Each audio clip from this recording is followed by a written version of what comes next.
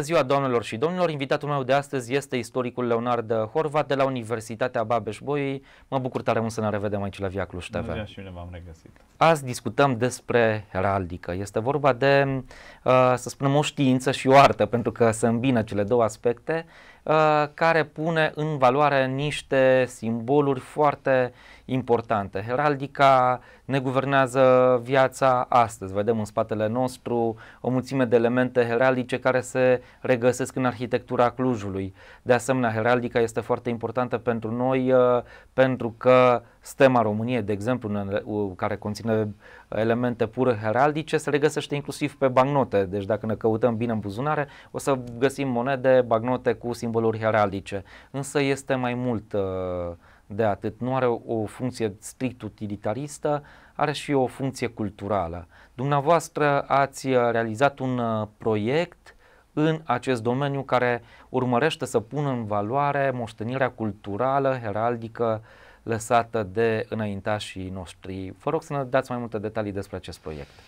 Da, așa este. Este un uh, proiect uh, făcut de o echipă de uh, cercetători de la uh, colegi, de să spunem, cu mai multe discipline, pluridisciplinar, un proiect care se numește Head Art, pe de altă parte, care va avea un uh, site uh, stil blog unde vom încerca să aducem uh, în zona digitală undeva între 150 și 200 de blazoane, steme și reprezentări heraldice ale uh, familiilor aristocratice din Transilvania și de ce nu chiar și din România. Vom avea uh, familii nobiliare maghiare care sunt recunoscute cu blazonul familiar pe care uh, am, de o parte am reușit să le obținem. Deja suntem în discuții cu uh, câțiva reprezentanți ai acestor familii aristocratice din uh, Transilvania pentru a ne pune la dispoziție uh, aceste uh, blazoane, să spunem, care au o tradiție istorică și sunt foarte bine păstrate.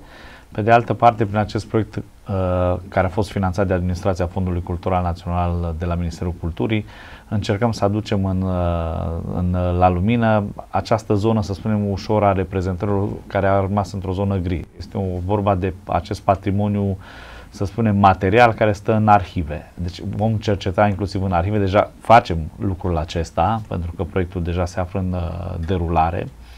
Uh, echipa de cercetători deja caută atât în arhivele de la Cluj, cât și la Oradea sau în toată Transilvania. Sigur, ne vom folosi și de mijloacele uh, care există, internet și alte lucruri. Vom încerca să ajungem și la arhivele din Budapesta și din Viena pentru a căuta aceste mărturii, uh, reprezentări zoomorfe și reprezentări artistice care au și ele istoria lor și care merită a fi puse la dispoziția publicului pentru a le studia, să spunem, la un click distanță, începând de, de la sfârșitul lunii octombrie când, sau din a doua jumătate a lunii octombrie când uh, acest site va fi de, uh, urcat sus și va fi vizibil pentru toată lumea fără să existe alte costuri financiare. Am trebuit să spunem faptul că mergeți la Budapesta pentru că cea mai mare parte a arhivelor Transilvanie se găsesc uh, la Budapesta și la Viena deoarece acolo se afla Cancelarea Aulică a Transilvaniei care păstra inclusiv uh, decretele uh, de nobilare. de nobilare, brevetele acordate de uh, împăratul austriac în calitatea sa de mare principe al Transilvaniei și apoi de rege apostolic al Ungariei de la 1867 încolo, de, de la Auslaich uh, încolo. Va trebui să subliniem acest lucru, dar bănuiesc că o să faceți o cercetare și la București, pentru că în perioada interbelică au fost uh, foarte mulți aristocrați uh, din uh, fostul uh, Imperiu Austro-Ungar care au dezvoltat uh, relații foarte bune cu familia regală a României și uh, aristocrați de origine maghiară, cum ar fi contele Banfi Micloș și aristocrație de origine română. Sigur, păi, în acest proiect se vor regăsi atât uh, nobili români, maghiari, cât uh, Saș, există, Saș, da. exact, da. Inclusiv în zona Sibiului vom merge să Armeni. studiem. Armeni. Și de ce nu și comunitatea românească? Ioan Mihali de Apșa a fost unul dintre nobili, se, nu? Victor Mihali de Apșa, marele Exact. Deci, uh, asta spun, toate lucrurile acestea o să încercăm să le uh, reprezentăm cât mai echilibrat pentru a nu uh, crea animozități. Este un proiect multicultural care se gândește din acest punct de vedere. Vom combina istoria cu știința heraldică și mă refer la faptul că heraldica este o știință auxiliară a istoriei care are tocmai chestiunea aceasta de a studia reprezentările și culorile care există pentru că de-a lungul timpului uh, această zona heraldicii s-a dezvoltat într-o oarecare măsură în trei etape. Putem spune că reprezentările au existat dintotdeauna de când omul a început să scrie, să deseneze, sunt reprezentări, nu?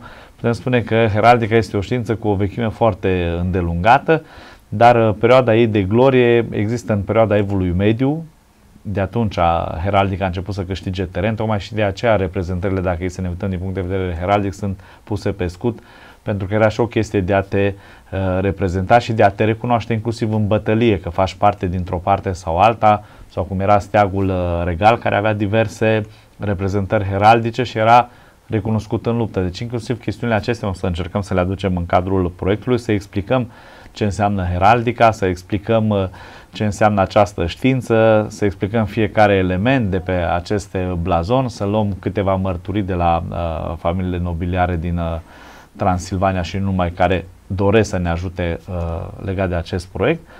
Uh, și cred că este un proiect unicat și interesant din acest punct de vedere, tocmai datorită acestui fapt că încercăm să aducem o parte din patrimoniul uh, să spunem, material la lumină, adică să nu rămână în zona arhivelor, într-o zonă necunoscută. Dacă este să ne uităm astăzi, vedem că această parte de reprezentare a blazonului, a stemelor, vedem și la Cluj uh, și în marile orașe, fiecare încearcă să-și recu- uh, recupereze trecutul istoric. Nu? Dacă la Cluj vechea emblema orașului cu cele trei turnuri și o poartă ridicată care uh, reprezentau, să spunem, uh, Uh, orașul uh, Ribel uh, regesc care și a câștigat de-a lungul... La 1316, Așa este. Charles Robert d'Anjou. Da, deci inclusiv chestiuni de genul acesta vom încerca, dar pe de altă parte vedem că heraldica nu și-a pierdut, credem noi numai că și-a pierdut oarecum, să spunem, importanța, dacă să ne uităm nu la credem. marile firme astăzi care da. există, le recunoaștem după emblemă, logo, nu? Da. Logo, emblemă, practic este tot o reprezentare heraldică. Deci s-au schimbat lucrurile într-o oarecare măsură, dar pe de altă parte cred că este important să ca tinerii și ne adresăm în special tinerilor, vom avea o conferință la Cluj, una la Oradea de prezentare uh, uh, finală a proiectului, în care vom uh, prezenta proiectul nostru tinerilor, pentru că ei, într-adevăr, sunt cei care și o parte are, pe lângă chestiunea aceasta, proiectul are și o parte educativă, Uh, de a le explica tinerilor ce înseamnă heraldica, ce înseamnă zona asta de familie aristocrată și încercăm la aceste două conferințe să aducem câte un reprezentant al familiilor aristocrate și să le vorbească cum era viața într-o familie aristocratică sau cum se comportau sau ce reprezintă elementele heraldice pe care dânsii le au ca moștenire culturală și istorică în cadrul familiei. Există legături între aristocrația din Transilvania și familii regale. Contesa Claudine de Redei Uh, s-a căsătorit cu un duce cu origini germane care reprezintă uh, sau este unul dintre strămoșii case regale a Marii Britanii, deci o contesă din Transilvania, iată, este unul dintre antecesorii majestății sale Elisabeta a doua Marii Britanii, dar în același timp, pentru că cele două case regale sunt unite prin uh, Regina Maria României și ai uh, familiei regale a României. Uh, veți aborda și acest uh, aspect, pentru că vorbim de heraldică, iată, elementele heraldice ale Transilvaniei astăzi se regăsesc în blazonul familiei regale a României. Sigur că vom uh, aduce și partea, să spunem, uh, uh, dacă dați voie să-i spun așa, uh, uh, cum să zic, uh, lucrurile cele mai interesante, adică uh, frișca de pe tor, ca să-i spun Micile așa. anecdote care Dar dau savoare. Da, poți să putem să le spunem micile anecdote. Uh, în cadrul proiectului avem și 10 blazoane de, uh, ale marilor familii, inclusiv imperiale, din Europa. Vrem să le punem. Pentru că e important ca tinerii să înțeleagă cum, de ce, de exemplu, blazonul imperial al familiei Habsburg, să le explicăm ce reprezintă vulturul bicefal cu cele două coroane. Acea situație avem și cu um, regatul Angliei, cu Marea Britanie. Și de ce nu să aducem chiar și din zonă, din zona Serbia, regatul sârbo-croato-sloven, adică avem chestiuni de genul acesta în plan, să le aducem și le avem un proiect uh, trasate clar, 10 blazoane vor fi din uh, zona europeană, pentru ca tinerii să înțeleagă legăturile care au existat de-a lungul timpului, atât între aceste familii aristocratice și, de ce nu, vom sigur este un proiect care, din punctul meu de vedere, este sustenabil și va continua și după, pentru că ne dorim ca cercetarea noastră să meargă mai departe și, de ce nu, să încercăm pe anumite filoane, acolo unde avem acces la document arhivistic, să încercăm să facem și uh, ceea ce înseamnă încrengătura, să spunem, uh, nobiliară dintre familiile românești, de renume, cum ar fi familia Brătienilor sau, cum am zis, familia Ioan uh, Mihail de Apșa, cu diverse Maniu, Maniu, Rațiu. Rațiu, deci toate aceste familii, să vedem și uh, originile care există, să facem și, să spunem, ceea ce uh, se numește astăzi uh, trecutul istoric al familiei. E o chestiune foarte, foarte interesantă. O veți face, de exemplu, și diferența dintre blazoane conferite și blazoane autoasumate? Da. Vom încerca să punem și exemple de genul acesta pentru că există o diferență clară între lucrurile acestea, uh, dar în special vom explica uh, la fiecare blazon în parte, vom avea text în care vom explica ceea ce înseamnă fiecare element uh, heraldic, de ce este pus, pentru că vom vedea de-a lungul timpului. Pe blazoanele familiilor aristocratice există diverse reprezentări, atât coroana, scutul, de ce este pus, ce reprezintă reprezentarea pe care și-a ales-o nobilul ca să fie.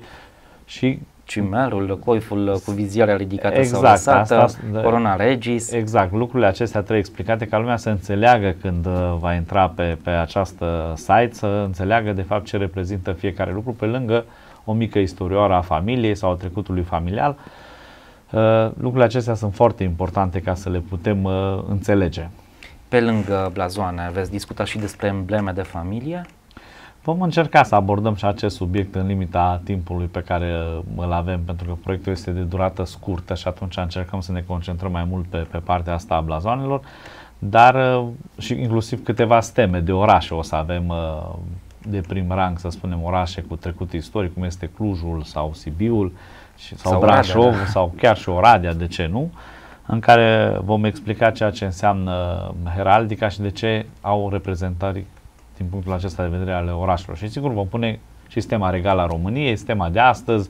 Sistema Marelui Principat al Transilvaniei, sigur, Da, vom pune toate lucrurile acestea a țărilor române, adică vom avea, să spunem, vom încerca să acoperim o pătură cât mai mare, numai să ne rezumăm numai la partea de aristocrație.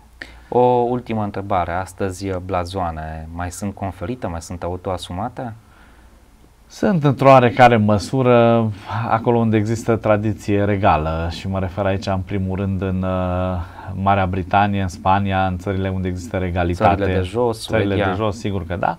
Dar pe de altă parte să știți că și în uh, zona românească, și aici mă refer în uh, România și în Transilvania, cu precădere, există și o asociație a nobililor transilvaneni care funcționează, unde dacă intri, să spunem așa, în, pe ușa istoriei, descoperim că bă, acești oameni care au un trecut, să spunem, frumos în spate, cu o greutate, nu? Să faci parte din familia Banfi, să ai o tradiție istorică cu atâția antecedenți care au fost și guvernatori ai Transilvaniei sau de genul acesta, Uh, aceste blazoane sunt păstrate, să spunem, la loc de cinste în casă și sunt uh, apreciate uh, de ei și puse în valoare în diferite situații. De fapt, se vede și prin noblețea comportamentului pe care o au, lucru pe care, de exemplu, îl vedem și la familia regală a României, nu? Vine principele Radu, vedem o anumită conduită de comportament sau la principesa Margareta sunt lucruri sau ca să nu facem, să nu trecem mai departe, când vine uh, prințul Charles și merge la contele Calnochi. Vedem un alt fel de comportament uh, la care ne place, ne uităm, suntem atenți, atât mass media cât și noi istorice și toată lumea. Deci lucrurile acestea se păstrează în sânul familiei, se valorifică și de ce nu să încercăm într-o oarecare măsură prin uh, acest proiect să aducem o parte din ceea ce înseamnă uh, uh, sângele albastru și blazoanele nobiliare pentru a le explica publicului larg. Mulțumesc tare mult și vă țin pumnii. Mult succes! Mulțumim! Prieten, vă mulțumesc și vouă. Ne vedem pe net.